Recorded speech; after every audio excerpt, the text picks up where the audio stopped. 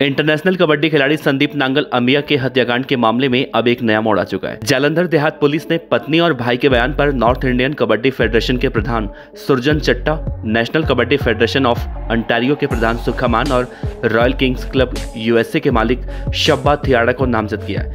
इन तीनों पर हत्या में शमूलियत का आरोप है। इन तीनों को किस आधार पर नामजद किया गया है, उसके बारे में फ़िलहाल पुलिस बताने से कतरा रही थी। जालंधर देहात एसएसपी स्वर्णदीप सिंह ने कहा है कि मामले में कई पहलुओं पर जाँच चल रही है।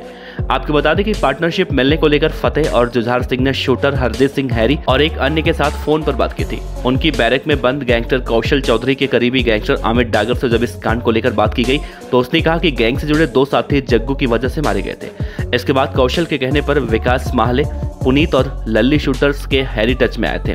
और फिर जुझार ने शूटर्स को व्हीकल से लेकर असलाह पहुँचाने तक के लिए अपने साले यादविंदर सिंह को साजिश का हिस्सा बनाया था। सूत्रों के मुताबिक 14 मार्च को रॉयल किंग्स क्लब यूएसए के मालिक शब्बा थियाड़ा भारत में था। इसके बाद वो दिल्ली एयरपोर्ट से कनाडा चला गया। मृतक के भाई ने पुलिस को बताया था कि उक्त तीनों ने हत्या करवाई है। मामले में सबसे पहले शब्बा थियाड़ा से इन्वेस्टिगेशन शुरू की गई तो मालूम चला कि हत्या के कुछ समय बाद उसने किसी और से बात की, उसके बाद वो विदेश चला गया था।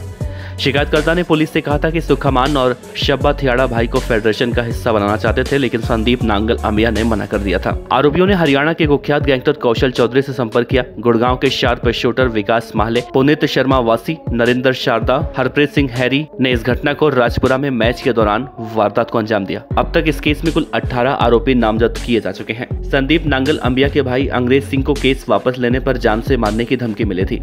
शाहकोट पुलिस ने आईपीसी की धारा एक ए और 506 के तहत मामला दर्ज किया था। अंग्रेज़ सिंह का कहना था कि 12 अप्रैल की रात करीब आठ बजे मोबाइल फ़ोन पर सोशल मीडिया के ज़रिए एक फ़ोन कॉल आई थी, जिसमें कहा गया था कि कनाडा से हरमनजीत सिंह, सनोवर ढिल्लो का दोस्त बोल रहा है, केस वापस ले लो, नहीं तो तुम्हारा भी हाल संदीप नांगल अंबिया जैसा करेंगे। फ़िलहाल अब देखना है होगा इन तीनों से पूछताछ के बाद क्या कुछ इस मामले में निकल कर सामने आता है।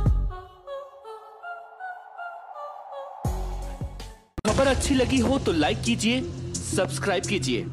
साथ ही बेल आइकन का बटन दबाइए। पीडीएफ न्यूज़ की खबरें सबसे पहले देखने के लिए।